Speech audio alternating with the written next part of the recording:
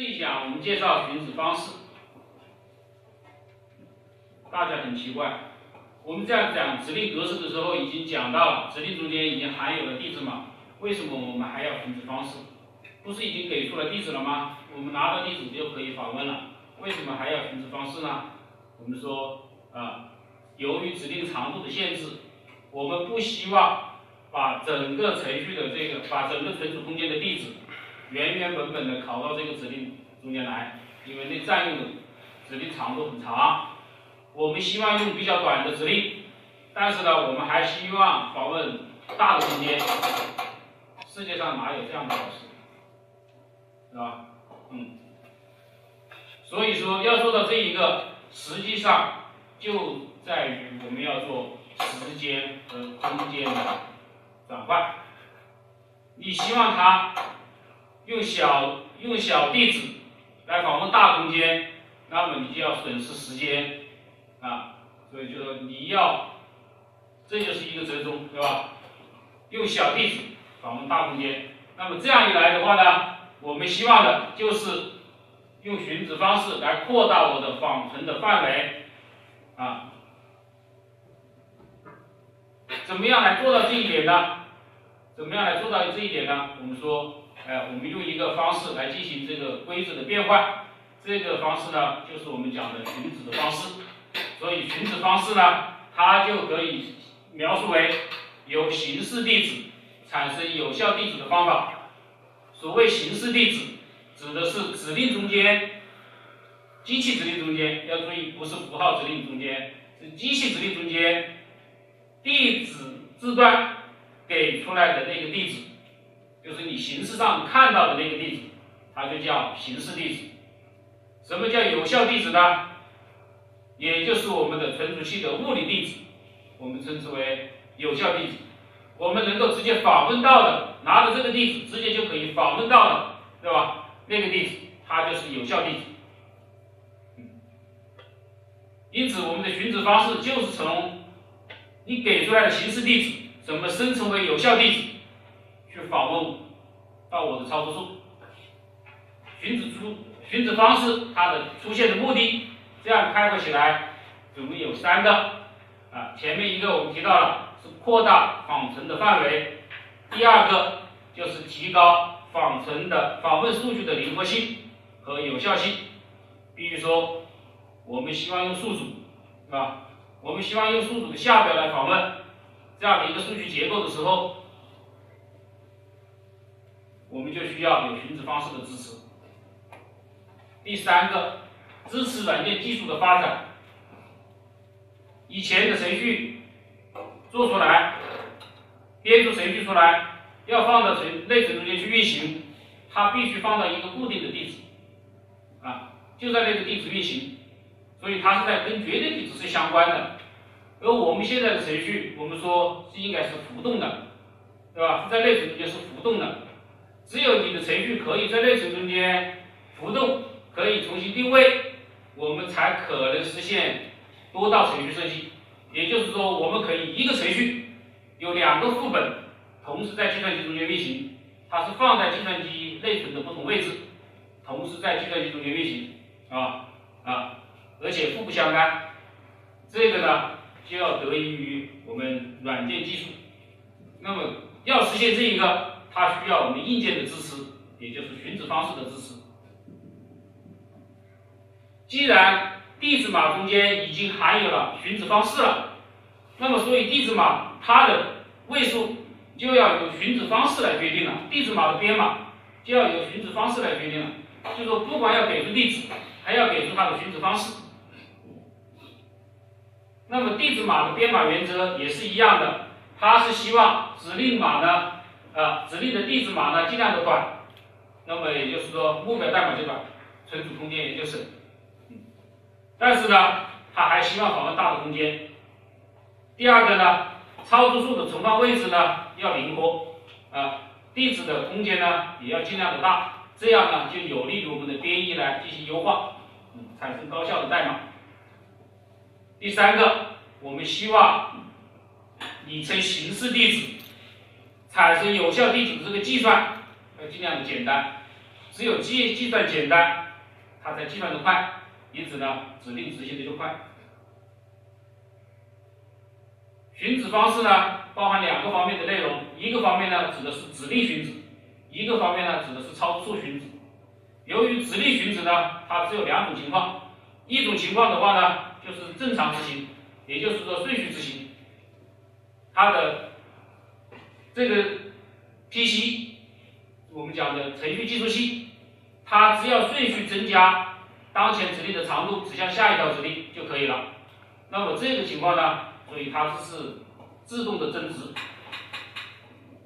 非常的简单。第二种情况呢，就是转移指令了，就是有分支跳转的这种情况。这种情况呢，它的操作数就可以跟啊我们通常的操作数的寻址方式呢一样，也就是说跟我们正常的数据的操作的这样的寻址方式呢是一样的。这样一来，我们就不需要考把指令寻址呢单独来考虑了。我们就只要考虑呃操作数的寻址就可以了啊。那么操作数的寻址呢，由于它操作数的来源啊比较多，它可能是寄存器，也可能是外设的端口，还可能是主存或者是虚存，也可以是占比啊，有各种不同的来源。而且呢，它操作数的结构呢也有不同。我们说有位，可能进行位操作，也可能进行字节操作。半字操作、字操作、双字操作，呃，一位表，也就是数组这样的一些简单的数组这样的操作。那么，因此呢，它的寻址方式呢就相对来说复杂。我们呢，现在呢就通常我们指的寻址方式呢就只指操作数的寻址，因为指令的这个寻址方式呢可以跟它的寻址方式呢一样，第二种的方式呢跟它一样，所以就特指操作数的寻址。寻址方式的确定啊，有两种方法，一种呢就是在操作码中间给定寻址方式，这种方式呢在 MIPS 指令中间啊，它指令呢就采用的是这种方式，它指令中间仅有一个储存的地址，且指令中间呢也只有一两种的寻址方式，由于它的方式少，所以呢我们在指令中间啊顺带的就可以把它给出来，还有一种方式呢。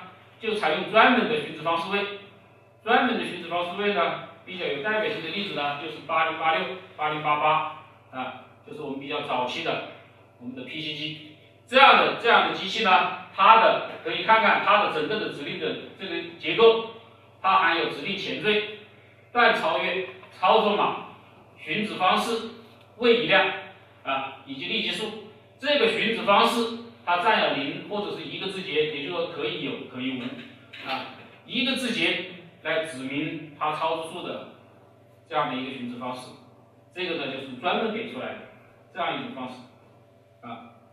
而基本的寻址方式呢，我们说有这么样一些，有立即寻址、直接寻址、间接寻址、寄存器寻址、寄存器间接、偏移寻址、非在寻址。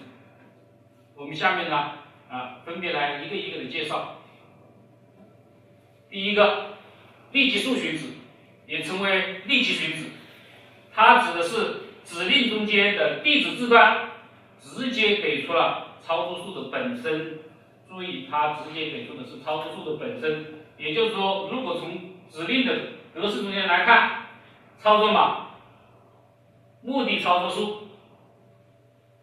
在这个原操作数中间，直接把这个它的数据操作数放在这这个地方，所以指令中间拿到这条指令的同时，就已经拿到了这个操作数，啊，不是操作数的地址，直接拿到了操作数本身。正因为你拿到的是直接的这个操作数，所以这个操作数呢，它也只能作为原操作数，它就不能作为目的操作数，因为。一个常量，它是不会在存储器中间给它分配空间的，它不分配空间，它就不是个容器，不是个容器，它就不能装东西。所以说，常量它实际上是在我们的在翻译阶段就会被替换，直接放到指令中间，直接放在这个指令中间啊。这个呢是大家要注意的。这个指令呢，我们说这样的一个例子就可以看到，假设我们现在是要做的是把一千 h 这个常数要送给 ax 这样一个寄存器，那么它指的含义就是这个一千直接出现在了这个指令中间，直接出现了指在指令这里，也就是说我们的原操作数这里啊，直接给出来了。那么这样的一个指令。它指令执行的时间就比较短，因为它不再需要去访存，也不需要到寄存器中间去找，拿到的就已经是指令的操作数本身啊。但是呢，这个操作数呢，由于它只占有一个指令地址字段，它就受到这个地址字段长度的限制啊。受到这个长度的限制之后呢，因此就这个操作数的大小。也就受到了限制，这个操作数就不会变得很大，是吧？就是这样，它的位数有限，因此呢，它的操作数大小呢受限。这个呢就是立即数寻址。为了介绍下面的寻址呢，我们假设这样的一些约定：a 代表的是地址字段值，也就是给的是地址；而 r 呢是寄存器的编号，啊，是寄存器的编号。e a 表示有效地址，括号 x 表示地址 x 中间的内容，用括号表示这个地址中间的内容。我们来看存储器的直接寻址，指存储器直接寻址指令中间给出的这个操作数啊，是存储器的一个地址，而操作数呢，实际上是在存储器中间。啊也就是说，这是存储器，存储器的 A 单元在这，那么我就把这个地址 A 就放。